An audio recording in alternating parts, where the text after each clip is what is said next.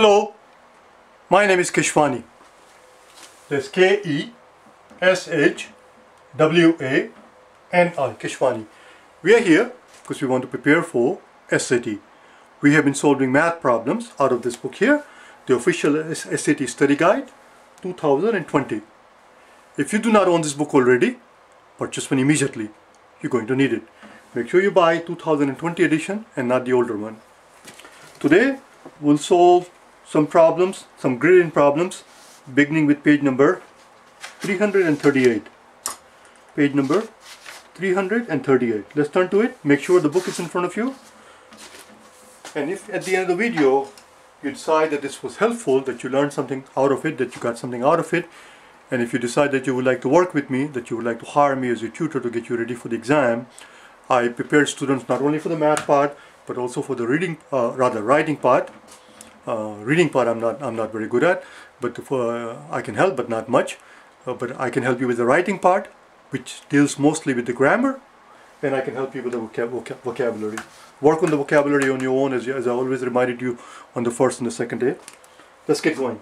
We are doing some gradient problems we will begin question number 16. But before we start with question number 16, there was something I left out in a hurry. Yesterday, as we were doing our work, during the course of the work, we had to figure out this quantity, square of two and a half. And what I told you is that the square of two and a half is six and a quarter.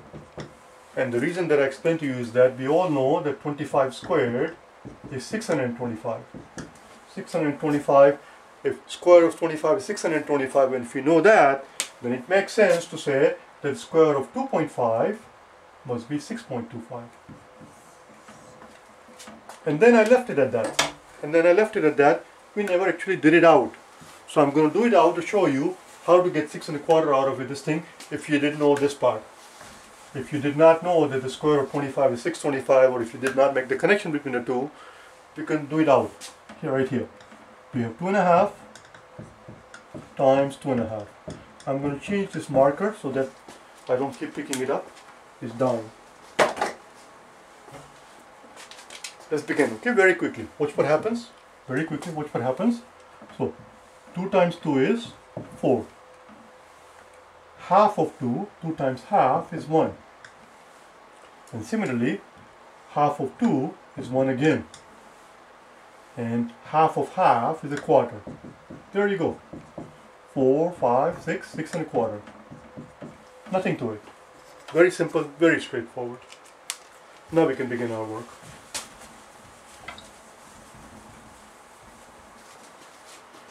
Question number 11, the very first problem that we see, the gradient problem.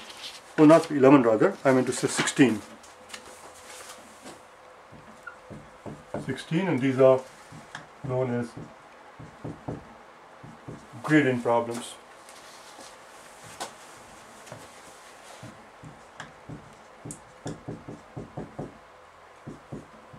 you will hear me refer to this as gradients because you have to grade in your own answers. Number 16. I bet you that was that was uh, astounding to learn for you, wasn't it? Number 16 is where we are. Let's take a look at it. It says that we have a manufacturer and he's shipping some things. And the total cost of shipping, we are told, total cost of shipping is 5C plus 12F and C represents the number of units that are shipped closer to closer locations and F represents the number of number of units that are shipped to farther locations. Notice farther a lot of times I hear people say uh, further. It's not further, it's farther. Further simply means additional. FAR. We are told that the total cost, total cost we are told is 47,000. And the cost of the units that are shipped farther out, we are told that, oh we're going to ship 3,000 units. F represents the number of units that are shipped to the farther farther location, and that's 3000. Let's find out what, how many units were shipped. Question is how many units were shipped to closer location Let's find out. So we have everything we need. We simply have to plug in numbers and find out. So total cost is 47,000 and the cost of shipping uh, the unit to that are closer to our location is apparently five dollars per unit and we're shipping oh that's the one we want to find out. And the cost of the unit that are shipped farther out farther from the plant is apparently twelve dollars per unit and we're shipping 3000 units. So it's 12 times 3000 12 times 3 is 36 so it's 36,000 let's subtract 36,000 from both sides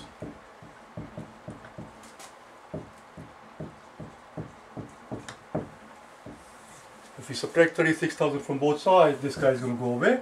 And that means the 5C, 5C equals 47,000 minus 36,000, which is 11,000. And if it makes your life easier, because soon we're going to have to divide by 5. You see, you have to think ahead of time. If, you, if it makes your life easier, write this 11,000, not as 11,000, but write it down as 10,000 plus 1,000 and you will see that it will make your life easier. Now we have to solve for c, so let's divide the entire equation by 5. Let's divide the entire equation by 5 and we're done. So this 5 is going to go away and c is equal to 10,000 divided by 5 is 2,000 and 1,000 divided by 5 is 200. So the answer is 2200. 2200. How many units were how many units were shipped to closer location? The answer is 2200 if the total cost of shipping was 47,000 and if 3,000 units were shipped to the locations farther out. That's all. Number 16. Number 17. Number 17 gives us 2x plus 1 we are told the absolute value is equal to 5 and we are told that so it will have two solutions because it has absolute value, it's going to have positive and negative. And we are told that A and B are the two solutions, are the two solutions. And what we want to find out, what we are being asked here is the absolute value of A minus B. I'm going to change the marker one more time because apparently I'm not too happy with this one either. It is just dying and it's very light. And I don't like it. Okay, so let's begin, shall we? So because it has absolute sign, because it has absolute sign, that tells us that either 2x plus 1 is equal to positive 5 or 2x plus 1 is equal to negative 5. Because if you remove if we remove the absolute sign, what we end up is this. What we end up with here is this. 2x plus 1 is equal to positive or negative 5. And we have to contemplate both of those scenarios. So it could be 2x, it could be that 2x plus, it could be that 2x plus 1 is equal to negative 5, or it could be that 2x is plus 1 is equal to positive 5. Hence the two solutions. And the two solutions that we're going to get here, they're calling them A and B, and our job is to give them the absolute difference of the two solutions. I'm going to erase all, well, let's not erase it, let's put it like this. Let's pick up story here. So 2x is equal to, bring, subtract, subtract 1 from both sides, bring 1 to the other side, it become negative 6, and that gives us x is equal to negative 3. So this is 1. And here, 2x is equal to, when we bring the 1 to that side, it becomes 5 minus 1, which is 4, and now x is equal to positive 2. So the two solutions are negative 3 and 2. It doesn't matter, it doesn't matter which solution you call A and which one you call B. It doesn't matter. It does not matter because they are asking for the absolute value. In either way, the answer is going to be the same. For example, let's do it on the top. For example, if we call negative 3a, if we call negative 3a, then it's going to be a minus b. b would be 2 in that case positive 2 that is. Oh, we're looking for not we're not looking for a plus b, we're looking for a minus b. So that is our, let's put it this way. This is our A. Our A is negative 3, negative 3 minus B, which is positive 2. That makes it easier to see. So negative 3 and a negative 2 will give us negative 5 in the absolute sign, and the absolute value is 5. And like I said, it doesn't matter because since we are taking the absolute value, it doesn't matter which one we call A and which one we call B. Instead of calling negative 3A, if we had called negative 3B, if, if we had called negative 3B, here we would have had minus negative 3. And A would have been 2. In which case, we would have been looking for the absolute value of 2 minus a negative 3, which is same as absolute value of 5, which is again 5. So the answer to this problem is 5. It doesn't matter which way you go, but it has this inequality has two solutions obviously. The names of two solutions are A and B, and the question simply was, what is the absolute difference between the two solutions? And the answer is, the absolute difference between the two solutions is 5. Number 18.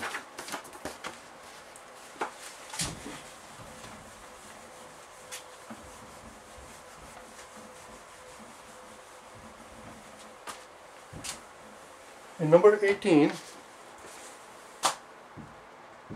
it says that we purchased we purchased an antique. An antique an antique item? For two hundred dollars. And we are told further that this item that we purchased, the antique item, we are further told that it appreciates in value every year. It appreciates in value every year by 10%. It appreciates in value 10% each year.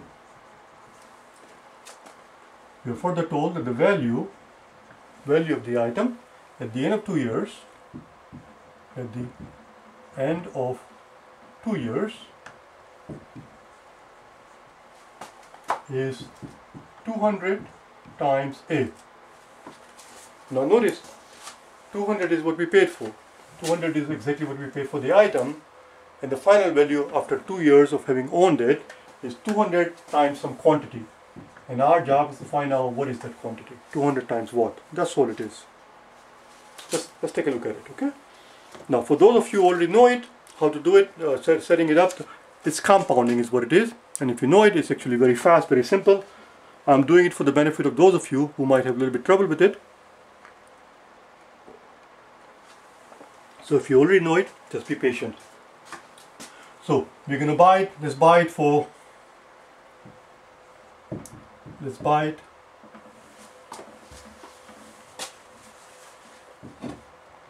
let's buy it for D dollars. Even though they say 200, we're going to first talk about D dollars and then we'll substitute 200 at the end. At the end of the first year, at the end of the first year, the value of this item would be the original D dollars that we paid for it plus 10% of D dollars. 10% of D dollars can be written as 0.1 times D. If we take out if we take out D common from here, it becomes 1.1. That's, that's going to be this value at the end of the first year. At the end of second year, at the end of second year, the value of this item is going to be 1.1 this is the value of the, of the item at the end of the first year. At the end of second year, its value is going to be 1.1 raised to 2. At the end of the third year, the value of this item is going to be 1.1 raised to 3, and so on and so forth. At the end of n years of owning it, after having owned it for n years, it will, its final value is going to be d, the original amount that we paid for it, times 1.1 raised to n. Since we have owned it only for 2 years, we just have to raise it by 2. And I hope at this and at this point, I hope that you know your squares. You must know there are some basic things that you have to know by heart if you have any hope at all, if you have any shot at all of getting a decent score. And one of the basic things that you must know by heart are your squares. 1 through 10 of course, but also maybe 11 through 15. At least, at least 11 through 15. And if you know your squares, you will know that 11 times 11, let's do it out on the top here. you will know that 11 times 11 is 11 times 11 I hope you will know, is 121. 121. And since we're not multiplying it by 11, we're multiplying by 1.1, it is 1.21. So the question was, what's the value of?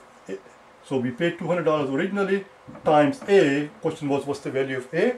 The answer is the value of A is 1.21. This is what you want to grade in, 1.21. Let me quickly show you how to do, how, how it comes out to be 111. So let's, it's very simple actually. 11 times 1 is 11, carry 1, and 11 times 1 is 11 again, and plus 1 is going to give us 12. But here we don't have 11, we have 1.1, so that's all it is. With 1.1 times 1.1 is going to be 1.21. That's all. That was number 18. Let's look at the number 19. Number 19. The penultimate one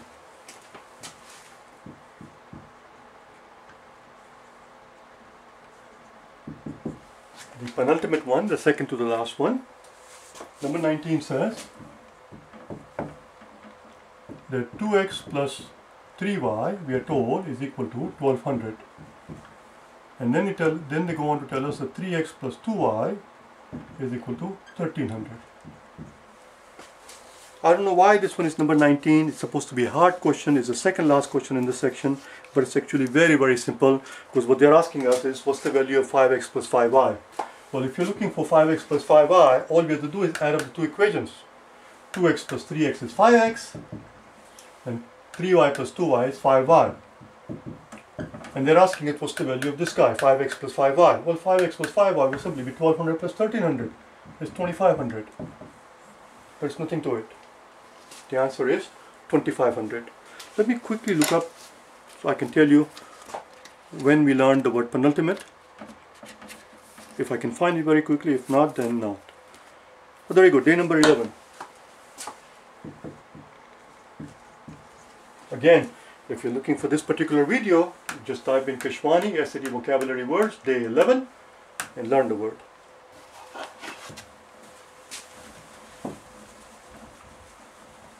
That is the best thing that you can do to get, you get, to get a better score in the reading part. That is the best thing that you can do. Because reading is not something that you can improve over a matter of one or two months. Reading is something that one, uh, good reading habit, a good reading skill is something that one develops over many, many years of having read different things. So the question is then what is it that you can do in the short term to get a better score? The answer is in the short term what you can do to get a better score in the reading part is to work on the vocabulary because this is where people make a lot of mistake because they don't they read the thing and they don't understand the words and they pick the sucker's answer. Don't do that. Don't be a sucker learn the words so that you can understand what is going on. Number 20, very last one. Number 20 says that u plus t, u plus t is 5 and we are told that u minus t is equal to 2 and the question simply is what is the value of u minus t times u squared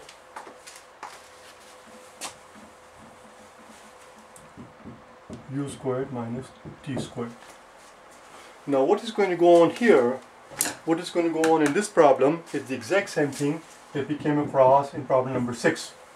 On day number 1 when we did problem number 1 through 10, we went through what is known as difference of two squares. Difference of two squares. And you must be able to recognize how difference of two squared appears if you take this quantity a plus b and multiply it by a minus b and I know you know this already but I'm just doing it just for just to make sure you get a times a is a squared a times negative b is going to give us negative ab b times a is going to positive b times positive a is going to give you positive ab and positive b times negative b is going to give us negative b squared. And what we find is that the middle term negative ab and positive ab drop out and this part this thing reduces to a squared minus b squared a squared minus b squared. And this, this formula that you see there is known as difference of two squares because that's what it is. It's the difference of two squares. This quantity is being squared and this quantity being squared and we're looking at their difference. And difference of two squared is simply the sum of the two quantities times their difference which is exactly what's going on here. u squared minus t squared. Instead of a and b, instead of a and b, u squared minus t squared. Instead of instead of a squared minus b squared, instead of instead of a we have u, instead of b we have t. Everything else the same. So this thing that we see is simply u plus t times u minus t. And if we knew that, the question is very straightforward. The question is very simple. There is nothing to this, nothing to this problem at all. The only reason why it appears as number 20 as the hardest question in the section is because most people do not know this thing. Something simple as that and yet they don't know it. If you knew this part, the rest is very simple. You'll see how easy it is. This is u minus t. And they tell you what the quantities are equal to. u plus t they tell us is 5 u minus t they tell us u minus t is equal to 2 so this is u minus t that is 2 times u plus t which is 5 times u minus t again which is 2 there you go 5 times 2 is 10 10 times 2 is 20 it is so simple that even I can do it I'll see you tomorrow where we start where we will start the next section section number 4. Section number 4, the next section on page number four, 341 is going to be an interesting one because that's the one where they allow calculators and I'll tell you at that point as to when it is wise to reach for the calculator and when it is not so wise. Right? We'll meet again tomorrow. If you want to get hold of me, if you would like to hire me as a tutor, send me an email as I said before, keshwaniprep at icloud.com. Alright, bye now.